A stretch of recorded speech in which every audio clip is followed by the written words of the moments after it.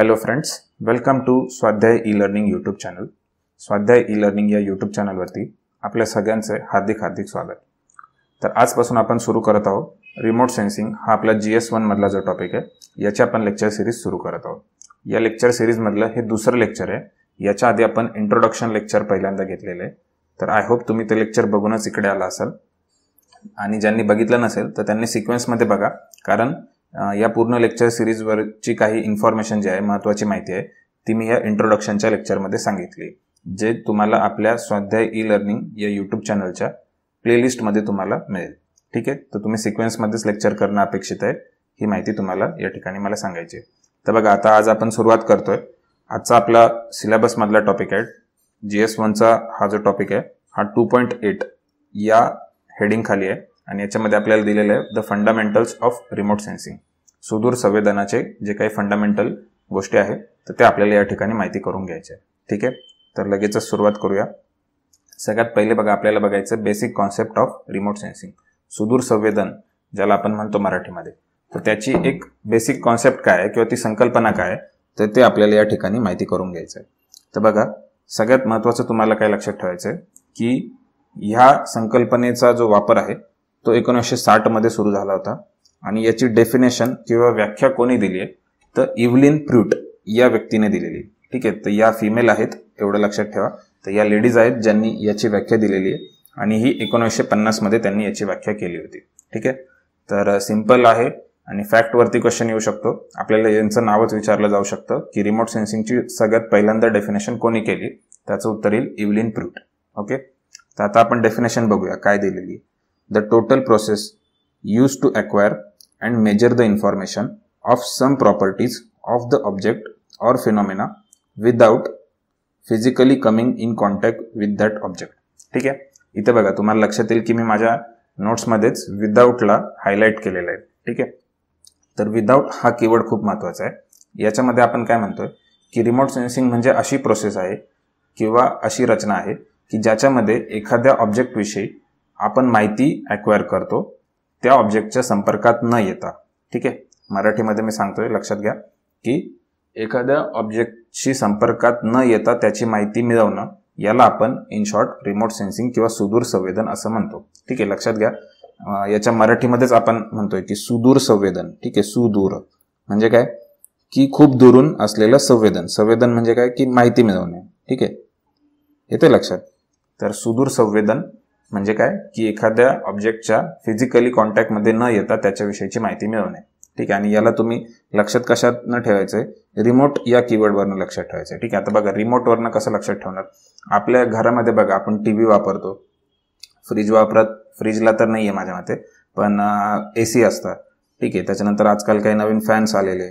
तर हे रिमोटने ऑपरेट होतात. ठीक आहे? तर याच्यातनं आता बघा आपल्याला टी व्हीमध्ये जर चॅनल चेंज करायचं आहे व्हॉल्यूम कमी जास्त करायचं आहे तर आपण टी व्ही सेटकडे नाही जाते. ठीक आहे आपण आपल्या हातातल्या रिमोटवरनं ते ऑपरेट करतोय.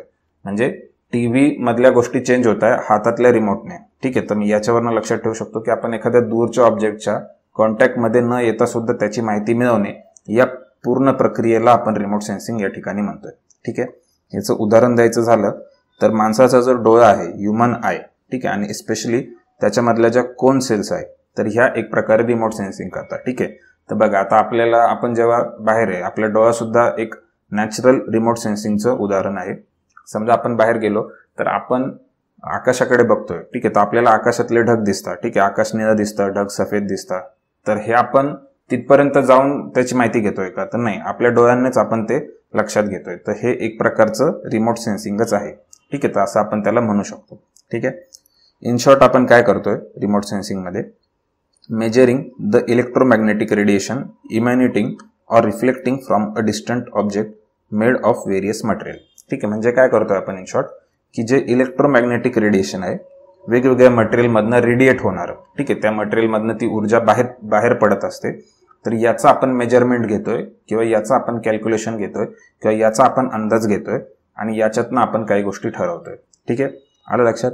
आता याच्यामधला रिमोट सेन्सिंग मधला हा जो इलेक्ट्रोमॅग्नेटिक रेडिएशन टॉपिक आहे हा आपल्याला पुढे बघायचाच आहे.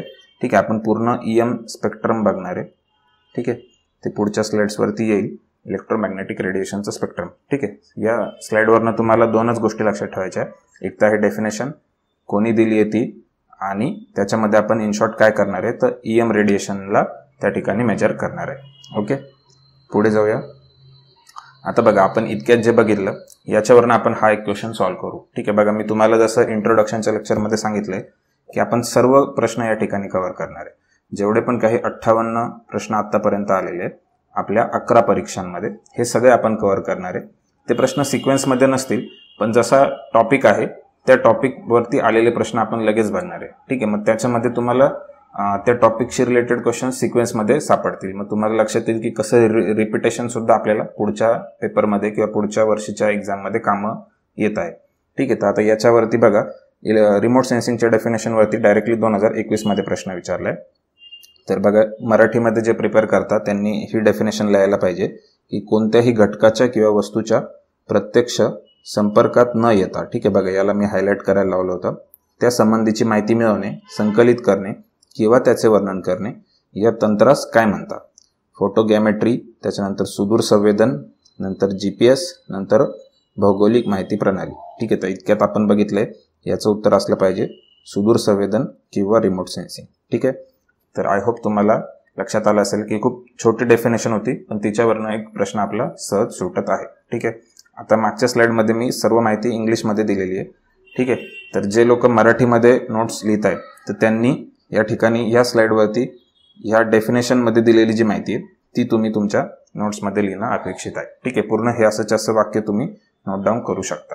ओके ठीक आहे पुढे जाऊया. आता बघा डू यू नो मध्ये आपण दिले हे स्टेट बोर्डचा मी स्क्रीनशॉट या ठिकाणी घेतलाय. स्टेट बोर्डमध्ये काय माहिती आहे? तर बघा रिमोट सेन्सिंग ही टर्म कोणी कॉइन केली सगळ्यात पहिल्यांदा. ठीक आहे असा आपल्याला प्रश्न विचारला. तर इतक्यात मी तुम्हाला सांगितलं एव्हलिन प्रूट या ज्या व्यक्ती होत्या या ज्या स्त्री होत्या यांनी ही टर्म घेतली होती. तर तेच इथं माहिती दिलेली आहे की the term remote sensing first use in the United States in nineteen fifties ठीक आहे इथं आपल्याला दोन गोष्टी कळाल्या. एकोणीसशे पन्नासमध्ये या संकल्पनेचा पहिल्यांदा कन्सेप्टचा टर्मचा यूज केलेला आहे आणि त्या युनायटेड स्टेट्सच्या आहेत. ठीक आहे तर एखाद्या वेळ देशसुद्धा विचारला जाऊ शकतो यू एसच्या आहे यू केच्या आहे वगैरे. ठीक आहे सगळ्यात इम्पॉर्टंट तर त्यांचं नाव आहे. ठीक आहे तेवढंच आपल्याला लक्षात ठेवायचं आहे पुढे जाऊया. पुढे आहे अजून एक स्क्रीनशॉट मला स्टेट बोर्डमध्ये सापडला की भारतामध्ये कोणाचं योगदान आहे रिमोट सेन्सिंगसाठी ठीक आहे?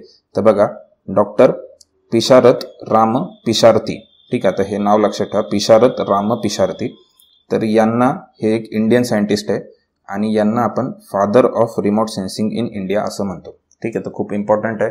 सिंपल आणि स्ट्रेट फॉरवर्ड क्वेश्चन येऊ शकतो. आणि दुसरं पण सांगतो की हे स्टेट बोर्डमधला स्क्रीनशॉट आहे. ठीक आहे? त्याच्यामुळे इम्पॉर्टन्स लक्षात ठेवा. सिंपल तुम्हाला प्रश्न येईल की father of remote sensing in India खालीलपैकी कोण आहे? चार ऑप्शन दिले जाते तुम्हाला हे नाव लक्षात ठेवायचं आहे पिशारत राम पिशात्री. ओके तर हे तुम्ही नाव लक्षात ठेवा आणि हे लिहून घ्या. ठीक आहे? तर यांच्याविषयी आपण इथे बरीच माहिती दिलेली आहे. मी जस्ट एक दोन याच्यातलं सांगतो की त्यांचं काम काय होतं? तर ते जे कुलाबा वेधशाळा आहे आणि अलिबाग अलिबाग मॅग्नेटिक ऑब्झर्वेटरी आहे. तर याच्यामध्ये ते कार्यरत होते. त्याच्यानंतर founder director of Indian Institute of Tropical Meteorology Pune. ठीक आहे इथून अजून एक फॅक्ट कळाला. Indian Institute of Tropical Meteorology ही कुठे आहे? तर ही पुण्यामध्ये आहे. ओके तर याच्यामध्ये सुद्धा ते असोसिएट राहिलेले तर एवढ्या दोन तीन गोष्टी आपल्याला लक्षात ठेवायच्या आहे ठीक आहे? त्याच्यानंतर डॉक्टर पिशात्री सर्व director of remote sensing and satellite meteorology at ISRO space application centre Ahmedabad ठीक आहे? तर स्पेस ॲप्लिकेशन सेंटर कुठे आहे? हे पण लक्षात घ्या अहमदाबादला आहे. ओके? तर हे दोन फॅक्ट एक्स्ट्रोचे आपल्याला याच्यामधनं लक्षात आले. सगळ्यात इम्पॉर्टंट आहे यांचं नाव जे की मी तुम्हाला लक्षात ठेवायला लावलेलं आहे. ओके? ठीक आहे. पुढे जाऊया. पुढे आहे हिस्ट्री ऑफ रिमोट सेन्सिंग आता रिमोट सेन्सिंगचा उगम कसा झाला किंवा याच्याविषयी आपल्याला अजून इतिहासात काय काय माहिती मिळते? तर बघा गॅस्पर फेलिक्स नादार तर हा नादार हा एक शास्त्रज्ञ आहे. तर याचं नाव आपल्यासाठी इम्पॉर्टंट आहे. याचा जास्त करून जो कार्यक्षेत्र आहे ते एरियल फोटोग्राफीमध्ये आहे. ठीक आहे? तर तुम्ही लक्षात ठेवा. गास्पर फेलिक्स नादार यांनी फर्स्ट एरियल फोटो घेतला होता फ्रान्स या शहराचा. ओके आणि एटीन फिफ्टी नाईन अठराशे एकोणसाठमध्ये तो घेतला होता. ठीक आहे? बघा आपल्याकडे तेव्हा अठराशे सत्तावन्नचं युद्ध होऊन दोनच वर्ष झाले असतील. ठीक आहे? तेव्हा यांनी एरियल फोटोग्राफ घेतलेला आहे. ओके त्याच्यानंतर एक आहे James Glaisher first weather observation in eighteen sixty two in England ठीक आहे तर हे दोन फॅक्ट लक्षात ठेवा. याच्यानंतर आहे बवेरियन पिजन कॉर्प्स. ठीक आहे म्हणजे काय की एका युद्धामध्ये त्यांनी ना कबुतरांचा वापर केला होता माहिती मिळवण्यासाठी. ठीक आहे तर हे काय इतकं इम्पॉर्टंट नाही आहे नंतर आहे फोटोग्राफी फ्रॉम एरोप्लेन हे एकोणीसशे नऊला सुरू झालं. नंतर एरियल रिकॅनसेन्स म्हणजे हवाई रेकी तर याची सुद्धा सुरुवात वर्ल्ड वॉर वनमध्ये झाली होती. ठीक आहे तर हे दोन तीन गोष्टी आहे तुम्ही याच्यातले पहिले दोन पॉईंट जे मला मोस्ट इम्पॉर्टंट वाटतात यांची नावं विचारली जाऊ शकतात तर हे तुम्ही लिहू शकता. आणि हे कोणत्या देशात त्यांनी केलेलं आहे तर हे पण तुम्हाला लक्षात ठेवायचं आहे. ठीक आहे? पुढे जाऊया. पुढे आहे development of radar in Germany and the use of non visible part of electromagnetic spectrum ठीक आहे म्हणजे हा कधी सुरू झाला? वर्ल्ड वॉर टूमध्ये ठीक आहे? वर्ल्ड वॉर टूमध्ये जे इलेक्ट्रोमॅग्नेटिक स्पेक्ट्रम आहे किंवा ज्याला आपण ई एम आर म्हणतो याच्यामधला जो नॉन विजिबल पार्ट आहे याचा वापर सुद्धा करण्यात आला. ठीक आहे आता हे आपण पुढे बघणार आहे कोणता विजिबल पार्ट आहे कोणता नॉन विजिबल आहे ते तुम्हाला लक्षात येईल. सध्या एवढंच लक्षात ठेवा. अजून दोन तीन फॅक्ट आहे बघा. First meteorological satellite by NASA in nineteen sixty it is called as TIROS ठीक आहे तर मग हे नाव लक्षात ठेवायचं टिरोस हे कोणाचं सॅटेलाइट आहे? नासाचं नंतर first earth observation satellite that is Landsat by NASA in nineteen seventy two हे पण इम्पॉर्टंट आहे की जगातलं पहिलं अर्थ ऑब्झर्वेशन सॅटेलाइट कोणतं होतं? तर ते होतं लँडसेट जे होतं नासाचं ठीक आहे जे एकोणीसशे बहात्तरमध्ये त्या ठिकाणी प्रक्षेपित करण्यात आलं होतं. ओके? नंतर first remote sensing satellite by ISRO आता इंडियाचं कोणतं आहे? तर आय आर एस आहे. I R S one Indian remote sensing satellite त्याचं शॉर्टकट आहे I R S okay? Indian remote sensing satellite तर आय आर एस वन हे भारतातलं पहिलं रिमोट सेन्सिंग सॅटेलाइट होतं. याची डेट पुढे येणार आहे. सध्या तुम्ही इयर लक्षात ठेवा. आणि मी सांगेल की हे मोस्ट इम्पॉर्टंट इयर आहे ठीक आहे? नाईन्टीन एटी एट ठीक आहे हे तुम्हाला लक्षात ठेवायचंच आहे. याच्यानंतर आहे first commercial satellite development of remote sensing in nineteen nineties ठीक आहे हा सोडून द्या. नंतर आहे स्पॉट वन हे फ्रान्सचं सॅटेलाइट आहे. आणि रडार सॅट हे कॅनडाचं सॅटेलाइट आहे. ठीक आहे तर या स्लाईडवरनं आपल्याला लक्षात ठेवण्यासारखं काय चार गोष्टी की कोणते स्लाईड सॅटेलाइट्स आहे आणि ते कोणत्या देशाचे आहे? हे आपल्याला विचारलं जाऊ शकतं.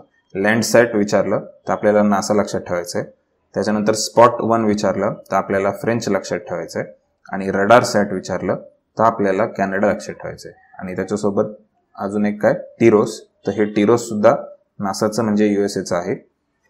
आणि त्याच्यानंतर इंडियाचं जे आहे ते आहे I R S one okay ठीक आहे तर आय होप पॉईंट क्लिअर असेल. ठीक आहे? पुढे जाऊया. पुढे आहे रिमोट सेन्सिंग प्रोसेसेस किंवा कंपोनंट्स आता हा सुद्धा तुमच्या सिलेबसचा पॉईंट आहे. रिमोट सेन्सिंगचे कोणते प्रोसेसेस आहे किंवा कंपोनंट्स आहे? तर याच्यामध्ये आठ स्टेजेस आहे हे तुम्हाला लक्षात ठेवायचं. सगळ्यात पहिला फॅक्ट लक्षात ठेवायचा कोणता? आठ. ओके आठचा आकडा लक्षात ठेवायचा. आता रिमोट सेन्सिंगची प्रोसेस कशी चालते एकंदरीत ते आपण बघूया. ठीक आहे? याच्या आधी आपण पुढची डायग्राम बघू जेणेकरून लक्षात येईल. तर बघा एखाद्या भागाविषयी किंवा एखाद्या भूपृष्ठाविषयी आपण माहिती कशी मिळवतोय? तर बघा सगळ्यात पहिल्यांदा काय होतंय की एक ऊर्जेचा स्रोत आहे ज्याला आपण सूर्य समजू. सूर्याकडनं जी काही एनर्जी येते ती इलेक्ट्रोमॅग्नेटिक फॉर्म्सच्या माध्यमातून येते किंवा इलेक्ट्रोमॅग्नेटिक रेडिएशनच्या माध्यमातून येते. ती या ठिकाणी ॲटमॉस्फिअरमध्ये ट्रॅव्हल करते. ओके ट्रॅव्हल केल्यानंतर तिचं इंटरॅक्शन होतं सरफेससोबत ही तिसरी प्रोसेस झाली. ओके तुम्ही एक हे जे ए बी सी डी दिलं आहे हे लक्षात ठेवा. ए म्हणजे काय म्हणतो आपण? की एनर्जीचा सोर्स आहे कोणीतरी. ओके तो ॲक्टिव्ह किंवा पॅसिव्ह असू शकतो. सध्या आपण सूर्याला लक्षात ठेवतोय की सूर्य हा एनर्जीचा सोर्स आहे. ठीक आहे जो की एक पॅसिव्ह सोर्स म्हणू शकतो आपण आपल्या हिशोबाने. पण आप लक्षात ठेवायला इथे लक्षात ठेवा की एक एनर्जी सोर्स आहे. त्याच्यानंतर ती जी एनर्जी आहे ती ॲटमॉस्फिअरमधनं ट्रॅव्हल करणार आहे. ठीक आहे तर मग हे झालं एक ट्रान्समिशन ओके त्याच्यानंतर जेव्हा ती एनर्जी सरफेस सोबत टच होईल तर त्याला सरफेस इंटरॅक्शन म्हणणार आहे जे सीमध्ये दिलं आहे त्याच्यानंतर एनर्जी रिफ्लेक्ट होणार आहे जे आपण डीमध्ये दाखवलं आहे रिफ्लेक्ट झालेली एनर्जी आपलं सॅटेलाइट किंवा रिसिव्हर हे कॅप्चर करणार आहे. ते कॅप्चर केल्यानंतर ते त्याच्यावरनं इन्फॉर्मेशन ग्राउंड स्टेशनला पाठवणार आहे. ओके ग्राउंड स्टेशन आलेली इन्फॉर्मेशन इंटरप्रिट करणार आहे. आणि आपल्याला म्हणजे इथे ग्राउंड स्टेशनकडे जी येईल ती information as a data ground स्टेशनकडनं जी आपल्याकडे इन्फॉर्मेशन जी येईल ती इन्फॉर्मेशन डेटा फॉर्मॅटमध्ये असणार आहे. आणि त्याला आपण रिप्रेझेंटेटिव्ह फॉर्मॅटमध्ये कन्वर्ट करणार आहे. म्हणजे जे सम सर्वांना जे सर्वांना समजेल अशा भाषेत त्याचं रूपांतर करणार आहे ज्याला आपण इन्फॉर्मेशन म्हणणार आहोत. ओके तर ह्या जे काही आठ तर हे जे काही आठ टप्पे आहेत याला आपण रिमोट सेन्सिंग प्रोसेसेस म्हणत आहोत. तर तेच मी इथे नोट्समध्ये दिलं आहे तुम्हाला हा फोटो मी समजण्यासाठी सांगितला होता. आता मी नोट्समध्ये काय दिलं आहे ते बघूया. सोर्स आहे. सोर्सकडनं एनर्जी येणार आहे. ती ट्रान्समिट होणार आहे. त्या एनर्जीचं सरफेससोबत इंटरॅक्शन होणार आहे. इंटरॅक्शन झाल्यानंतर ती प्रोपेगेशन पुन्हा होणार आहे जे रिफ्लेक्टेड फॉर्मॅटमध्ये म्हणजे त्याचं रिफ्लेक्शन होणार आहे इन शॉर्ट ठीक आहे? ते आपलं जे सेन्सर आहे ते डिटेक्ट करणार आहे. तर पुढची प्रोसेस आहे डिटेक्शन त्याच्यानंतर त्याचं कन्व्हर्जन करणार आहे फोटोग्राफिक किंवा डिजिटल फॉर्मॅटमध्ये ज्याला आपण डेटा म्हणूया. त्याचं पुन्हा कन कन्व्हर्जन होणार आहे इन्फॉर्मेशनमध्ये ज्याला आपण एक्स्ट्रॅक्शन म्हणू. आणि पुढे ते इन्फॉर्मेशन आपल्याला प्रेझेंटेबल फॉर्मॅटमध्ये मिळेल जे इन शॉर्ट मॅप्स किंवा टेबल्स असतील. ठीक आहे? मॅप्स आणि टेबल्सच्या माध्यमातून आपल्याला इन्फॉर्मेशन प्रेझेंटेबल फॉर्मॅटमध्ये मिळेल जी आपण समजू शकतो. ठीक आहे? हा जो डेटा असणार आहे हा आपण समजू शकत नाही. ठीक आहे? पण ही जी इन्फॉर्मेशन आहे ही आपण समजू शकतो. ठीक आहे? तर हे तुम्हाला आठ स्टेजेस लक्षात ठेवायचे आहे. ठीक आहे? यांचा सिक्वेन्स पण विचारला जाऊ शकतो. हे एन सी आर टीमध्ये दिलेलं आहे तिथून मी घेतलेलं आहे. ओके? तरी आत्तापर्यंत याच्यावर प्रश्न आलेला नाही आहे पण प्रश्न येण्याचे चान्सेस आहे. एन सी आर टीमधलाच डेटा आहे. तर तुम्हाला हे आठही स्टेजेस लक्षात ठेवायचे आणि यांचा सिक्वेन्ससुद्धा लक्षात ठेवायचा आहे. ठीक आहे? तर हे इंग्लिशमध्येच तुम्ही लक्षात ठेवा. मराठीमध्ये यांना नावं काय असतील थोडासा डाऊट होऊ शकतो. पण तुम्ही एक लॉजिकली गेलं तर तुम्हाला सिक्वेन्ससुद्धा लक्षात येईल. ठीक आहे याला पाठ करण्याची आवश्यकता नाही. ठीक आहे? पुढे जातो. ही डायग्राम मी तुम्हाला समजून सांगितली आहे. याच्यानंतर आपण बघूया डेटा आणि इन्फॉर्मेशनमधला फरक. ओके? आता बघा डेटा आणि इन्फॉर्मेशनमधला फरक. हा सुद्धा टॉपिक आपल्या सिलेबसमध्ये दिलेला आहे. की डेटा आणि इन्फॉर्मेशनमध्ये काय फरक आहे? डेटाला जर आपण मराठीत काय म्हणतो असं विचारलं तर डेटाला आपण विदा म्हणतो. ठीक आहे? डेटाला आपण विदा म्हणतो आणि इन्फॉर्मेशनला आपण माहिती म्हणतो. ठीक आहे? हा विदा शब्द तुमच्यासाठी नवीन असेल पण हा तुम्ही बरेचसे जे न्यूजपेपरमध्ये लेख येतात लोकसत्ताला वगैरे त्याच्यात तुम्ही हा शब्द ऐकला असेल. ठीक आहे? किंवा तुम्ही रिटर्न पेपरसाठी सुद्धा जर तुम्हाला मराठीमध्ये निबंध लिहायचा आहे किंवा ट्रान्सलेशन करायचं आहे आणि तिथे डेटा आला तर डेटाला पुन्हा माहिती असं ट्रान्सलेट नका करू. तर डेटाला विदा हा शब्द आहे हे लक्षात ठेवा. ठीक आहे? तर बघूया. आता हा फरक लक्षात ठेवायचा आहे ठीक आहे? जसं मी तुम्हाला मागच्या स्लाइडवरती सांगितलं की डेटा म्हणजे काय? की एक अनऑर्गनाइज्ड आणि अनरिफाईंड फॅक्ट्स आहे. ठीक म्हणजे काही माहिती आहे जिच्या काही रचनाच लावलेली नाही आहे ठीक आहे? ती माहिती जस्ट तुम्हाला उपलब्ध करून दिलेली आहे. तिचा ॲनालिसिस नाही केलेला किंवा त्याच्यामध्ये एक साचेबंदपणा आणलेला नाही आहे एक स्ट्रक्चर लावलेलं नाही आहे ठीक आहे? असंघटित पद्धतीची माहिती आहे. ओके? आणि त्याच माहितीला जेव्हा आपण संघटित पद्धतीचं रूप देतो आणि तिला प्रोसेस करतो तर तिचं कन्व्हर्जन इन्फॉर्मेशनमध्ये होतं. ओके? याच्यावरून आपल्याला काय कळालं? की डेटा जो आहे तो रॉ मटेरियल आहे कच्चा माल आहे. आणि इन्फॉर्मेशन जे आहे it is presented in meaningful context म्हणजे ह्या कच्च्या मालावरती प्रोसेस करून आपण इन्फॉर्मेशन तयार करतोय जी इन्फॉर्मेशन एक कॉमन मॅन सुद्धा अंडरस्टँड करू शकतो. ओके